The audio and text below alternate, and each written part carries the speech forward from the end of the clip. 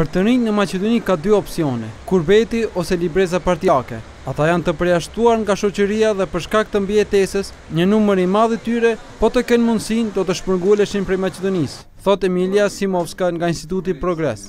Sipas saj, shpërngulja e të rinjve është fenomen i cili ka prekur edhe shtete tjera, por për dallim nga Maqedonia, të rinjtë e shteteve tjera shpërngulen për arsimim të mëtutjeshëm. Një pjesë e këtyre kthehen në vendlindje ku e investojnë kapitalin dhe dijen e tyre, shembull ky i cili nuk zbatohet në Maqedoni. Tashmë një kohë të gjatë të rinjtë janë në margjinat e shoqërisë në Maqedoni. Të rinjtë me problemet e tyre specifike asnjëherë nuk kanë qenë prioritet. Ne nuk i ndihmojmë ata për t'i aftësuar, për të fituar vlera të cilat më vonë do t'u ndihmonin atyre për të marrë pjesë në jetën shoqërore dhe të marrin pjesë në zgjidhjen e këtyre problemeve. Petar Atanasov nga grupi hulumtues i këtij instituti thotë se gjysma e të rinjve në Maqedoni janë të papunë, e shpresa e tyre e vetme për një të nesërme më të mirë është shpërngulja nga Maqedonia.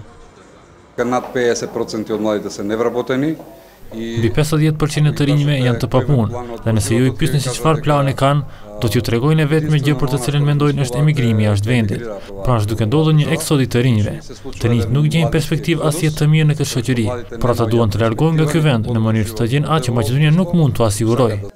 Sipas Atanasovit për të përmirësuar situatën e të rinjve duhet të punohet në arsimim dhe aktivizimin e tyre. Përndryshe, hulumtimi që sot u prezantua nga Instituti Progres ka treguar se ka shumë politikë, por pak politika dhe projekte për të rinj. Sipas rezultateve, projekte për të rinj ka, por megjithatë, të njëjtat nuk realizohen.